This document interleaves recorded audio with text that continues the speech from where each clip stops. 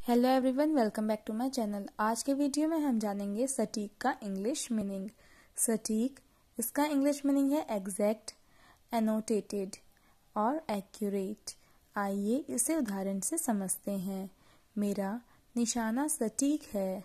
यहाँ पे सटीक का इंग्लिश मीनिंग है accurate my aim is accurate आइए इसे एक और उदाहरण से समझते हैं। बहुत ही सटीक बात कही है। यहाँ पे सटीक का इंग्लिश मीनिंग है एग्जैक्ट वेरी एग्जैक्ट सैड तो आज के वीडियो में इतना ही. Thank you so much for watching my video